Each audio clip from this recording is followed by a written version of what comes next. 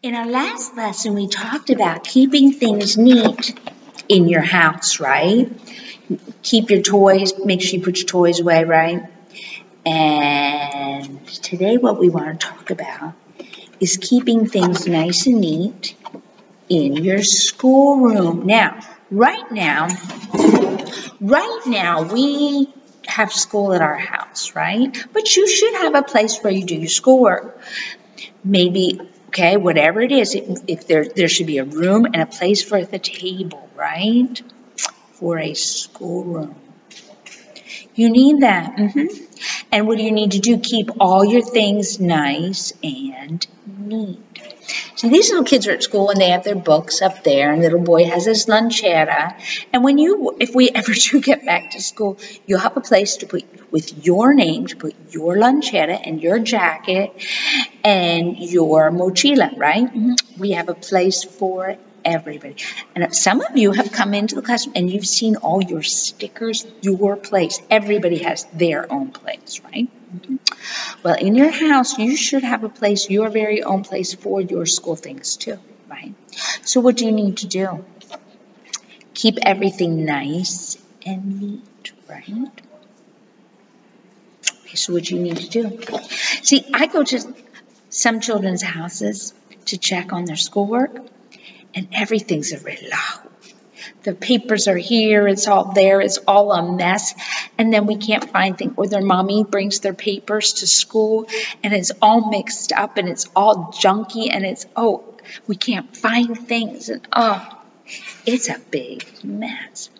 So the beginning of this school year, I told your mommy I want everybody to have their own little box with their pencils, their Crayolas, Mm -hmm. Put your little letters in it, and now you've got your little your Summa cards. They need to go in there too, don't they?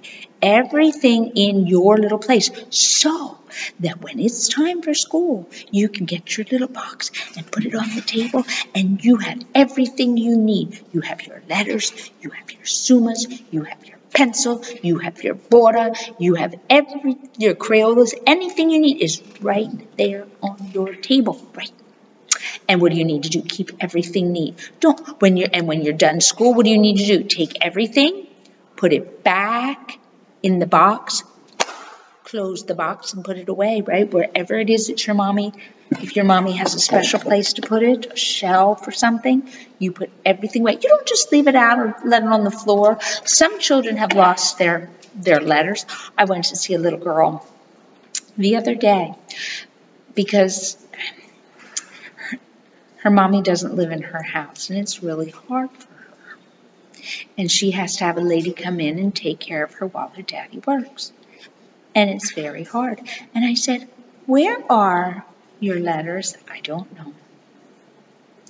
Where are, where's your ruler? I don't know. Where are your summas? Poor little girl, she couldn't do her schoolwork because she didn't know where any of her things were. Everything was, she didn't even have a table to do her schoolwork on. We can't be good students that way, can we? No. You need a nice table. Some of you, I've seen pictures of your little classroom. It is so nice. You have the walls all done and you have your little table. that is so nice. Your mommy just loves you so much. Not all children have that. Mm -mm. You, if you have a mommy that made you a nice classroom, you give her a big hug and you say, love you, mommy. Thank you for my school. Because not all children have that. Mm -mm. They don't. So what do you need to do? You need to keep your little classroom, whatever part of the house it is, just one little corner. You keep it nice and neat, right? Mm -hmm. Yes, sirree. So that your brain is ready to work. Because if everything's all a relajo, if everything's a mess and it's junky and you can't find your pencil and you can't find this and your paper's all ripped and where's my paper for today? You can't do school. Okay? Keep everything nice and neat and in order. And your life will be so much easier. And you will be ready to that.